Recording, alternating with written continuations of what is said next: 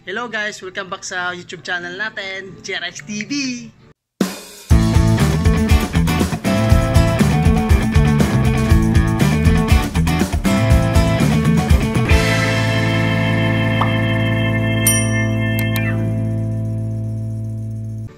So yan guys, welcome back sa YouTube channel natin guys na for today's video guys is mag-update tayo ng mga dogs natin guys.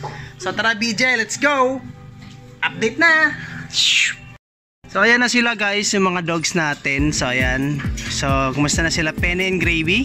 Ayan. So ngayon guys is magtuturo tayo sa kanila guys ng basic obedience para sa dogs. Ayan. Tara guys, labas natin sila. Shh, wait. Shh. Ayan, marunong na silang basic obedience ng waiting. Shh. Wait, tayo, tayo guys. Shh. Oh, come. Yan, and guys, so ready na sila guys for basic obedience. So, ayan. Try natin sila pasunurin guys. Ayan. So, gagawin natin for today is pagpapasunod tayo sa mga dogs. So, ang ano ngayon, ang advice natin guys, mas maganda guys if gutom sila or or wala sila, hindi pa sila nakakain guys para usually sa ano sila guys, tawag dyan. Susunod sila sa mga ibibigay nyo na utos. Uh, guys, first natin na gagawin is fetching. Ayan. So, pwede natin gawin yung sit. Pero si Penny yung pinaka ano dito sa sit. Ang marunong mag-obey. Si Gravy medyo matigas sa ulo to. So, pawait natin sila. Psst, come here. Psst, sit. Penny, come. Sit. Ayan guys, oh, na nakawait na. Nakasit sila guys. Ayan. So, nagwe-wait yan sila. Walang pagkain na binibigay guys, no? So, nagsisignal lang ako guys. Suli sa kamay. Psst. Dili sa kamay. Ayan, wait sila guys. So, yan yung trick natin. Shh, wait. Dili sa kamay. Yan, meaning guys is relax sila. So yan, nagre-relax yung mga dogs natin. So alam na nila yan guys. So matagal na namin yan pinractice. So recall lang ito. So tayo tayo. Shh. Shh. Sit.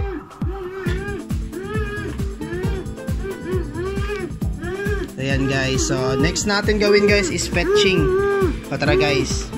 So next guys sa fetching guys is ginagawa ko. Meron akong toy. O kahit anong toy basta pwede nilang laro-laruin. So ito yung ginagamit ko na toys guys. Itlog lang to siya na surprise egg.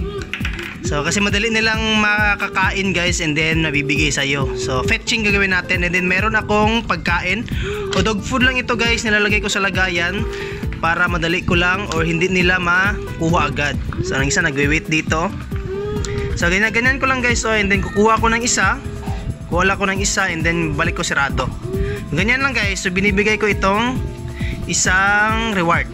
So every time na may bigay nila guys, bibigay ko sila ng reward. So try natin guys, try. And guys, no ready na sila. Ito yung toy guys. So ang toy guys, nilalagay ko yan dito sa lalim. May dog food yan sa loob guys. Pero hinahawakan ko lang. Dito yung dog food ko sa upuan ko.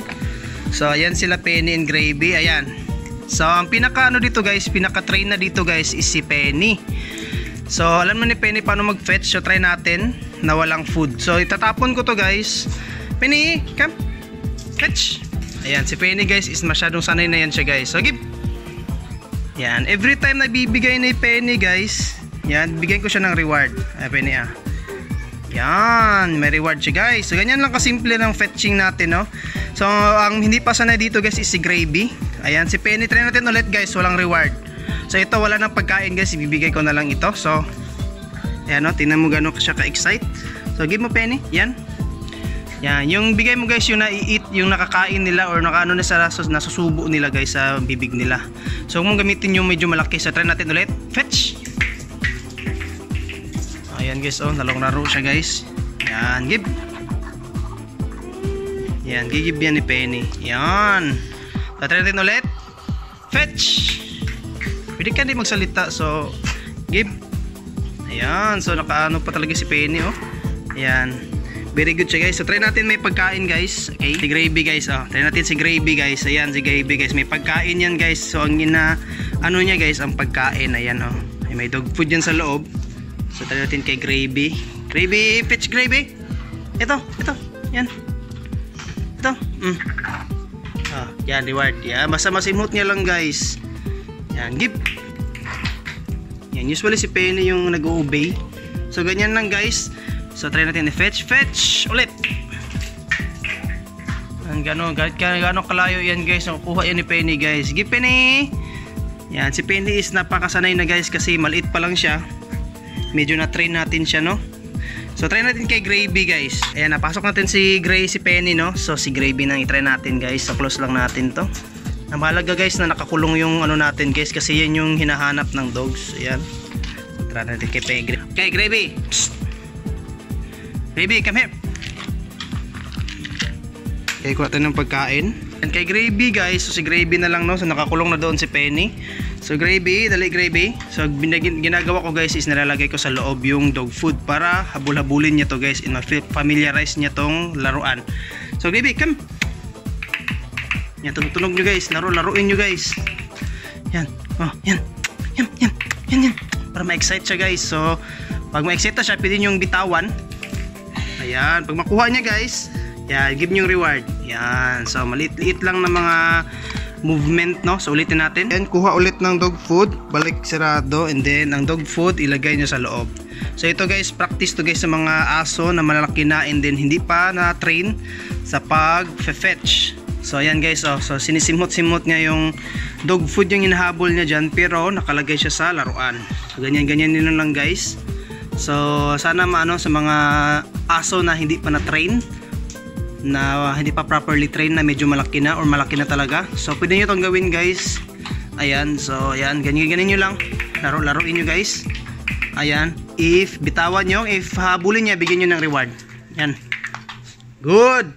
Yan. So, malitlitan lang ng mga training guys. So, paulit-ulit lang guys. So, try natin na walang laman. Ayan. Come. Come. Come. Come. Come. Come. Come. Come.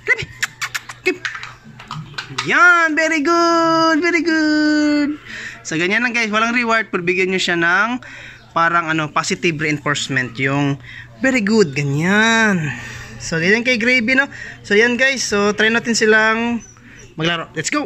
Ilabas natin si Penny guys. Come here Penny. Come. Come, come. Yan, playing, playing guys. Come, come. Come, come. Come here, come here. Yan, fetch. Yan, usually si Penny ang mabilis mag-fetch guys. Tingnan nyo guys kung saan nyo kukunin niya yung toys.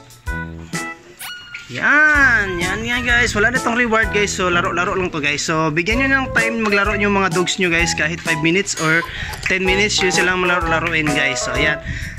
So, yan, try natin ipapasok sila, guys. O, come. Psst. Stop na. Tara, pasok.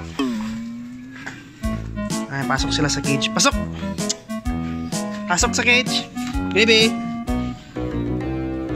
Yan, basic obedience lang to, guys. So, pasok na sila, guys. So, ganyan lang kadali magpapasok ng dogs no, sa cage nila. So, lock na natin. Kahit di lock, guys, oh. Tingnan nyo. Yan. Follow lang sila, guys. So, mas magandang tip guys pag training kayo gutom yung dogs nyo guys para susunod talaga sila guys sa mga ibibigay nyo na reward ayan gigigil sila so yan guys thank you thank you so much ayan And guys, no, thank you so much to disclaimer lang guys, hindi ko expert sa mga dogs guys. Sana nagustuhan yung video guys, sana nakatulong and then don't forget to like, share and subscribe. Hit the notification bell para update guys bago natin video. See you in my next vlog. Peace!